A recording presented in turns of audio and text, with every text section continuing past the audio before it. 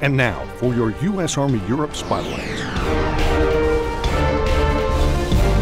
The 12th Combat Aviation Brigade is upgrading its fleet of Chinooks as they replace the CH-47 Delta models which entered service in 1982 with the modern CH-47 Foxtrot model. With training on the new model currently ongoing in Ansbach, Germany, the new aircraft will be fully integrated with the unit before their next potential deployment. For more on this story and on units stationed throughout Europe, check out eur.army.mil.